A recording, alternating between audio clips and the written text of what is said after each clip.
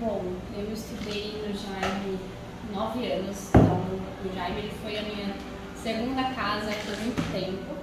É, desde o meu primeiro ano na escola, eu sempre fui muito bem acolhida pelos profissionais, então assim, sempre foi uma escola muito boa e além disso, é, sempre teve profissionais preparados para lidar com as pessoas, isso fez a total diferença. Então eu sempre senti muito carinho, muito amor é, em cima de mim, né? O tempo que eu fiquei aqui na escola.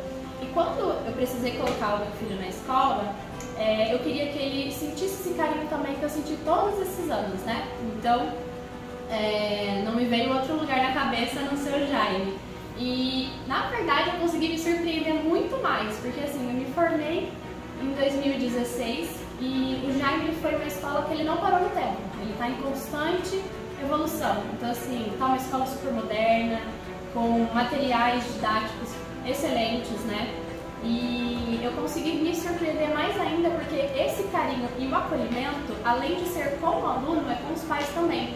Então eu estou vivendo de novo essa, essa fase de ser é, entendida pelos profissionais, né? Então assim, eu quero muito que meu filho é, tenha o sentimento que eu tive com a escola também, né? Eu sei que ele vai ter porque a gente já está com duas semanas de aula, a gente já está super surpreendendo, né?